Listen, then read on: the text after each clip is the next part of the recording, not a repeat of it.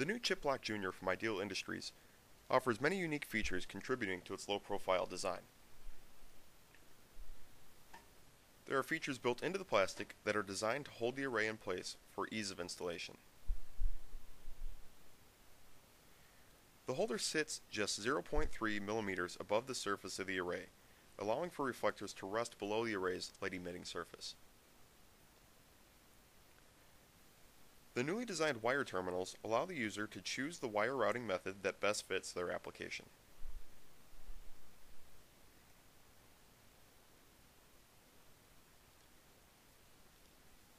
The holder itself allows for screws to be inserted on the Zhaga standard 25mm diameter, as well as allowing the holder to work in an existing fixture with 35mm diameter screw holes.